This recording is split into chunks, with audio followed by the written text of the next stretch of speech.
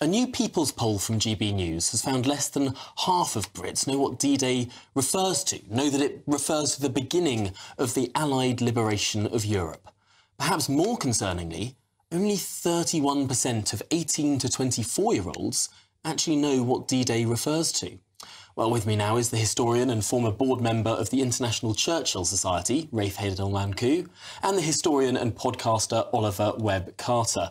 Uh, Oliver, We'll start with you. How important is it to keep the memory of D-Day alive? Oh, it's vital, absolutely vital.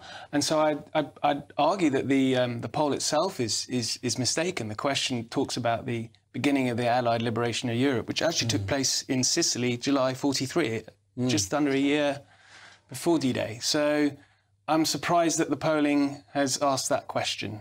Of course, the Sicilian invasion was uh, met, was was accompanied with much espionage, uh, venerated in the in the in, in the in the new movie of Operation, uh, Mincemeat. Operation Mincemeat. There's a West End musical about it as well. There is. I suppose that is keeping the flame of, of, of, that story alive as well. Yeah, and these these shows do really well, and I, I think there is a fascination to the Second World War.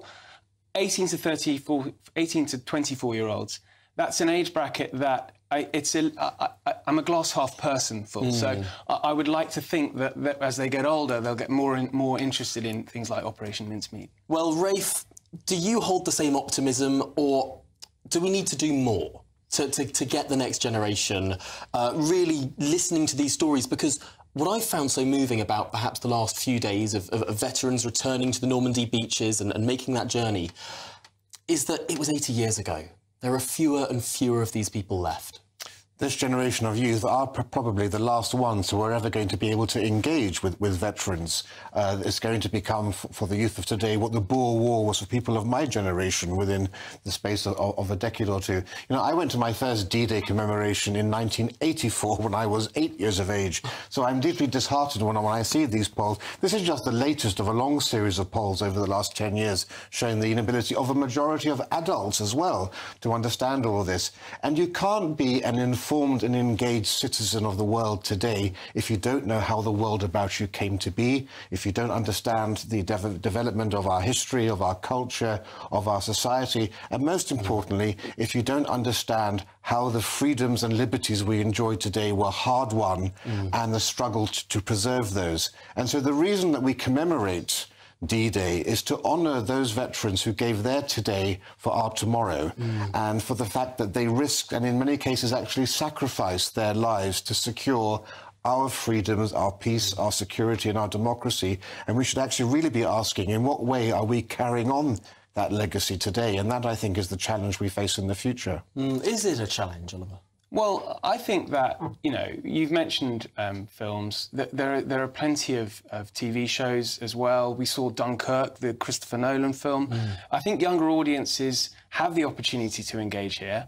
I'm, as I say, I think that perhaps more than half of the respondents were thinking of Sicily when, and therefore was Do you think that's an overly Churchillian view? Of course, he, he referred to it as the soft underbelly of Europe. Stalin didn't view it that way. He was urging the Allies to make the make the, the, the French assaults. He was, and actually, it makes for a great what if. I always think that um, had we not gone in in June 44, waited a little bit longer, the Soviet Union, the, the Red Army would have would have advanced further into mm. Europe, and so who can tell where that that would have ended? And, and, and of course, to, to, the Poles, particularly perhaps.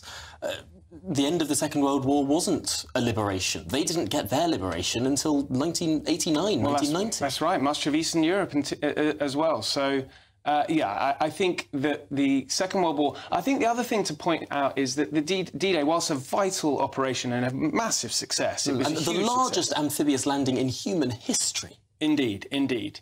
Um, but it was an, uh, uh, a particular operation during the war, and I think if if you were to flip it and ask uh, many respondents, such as me, mm. on a scientific question, I would probably not be able to tell you the um, mm. the, the, the medical table, the, the, chemical table term for H2O for water or something like but that. But you just so, did it. well, that's water. Uh, ask me lead, and I won't know.